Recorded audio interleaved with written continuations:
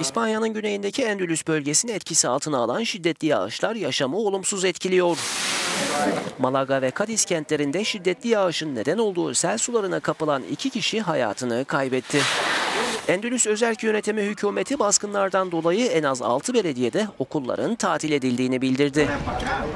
Malaga'da onlarca kişi yükselen sular nedeniyle evlerini terk etmek zorunda kalırken mağdurlar geceyi belediyenin tahsis ettiği yerlerde geçirdi. Bu arada bölgede mahsur kalan bir köpek helikopterle kurtarıldı.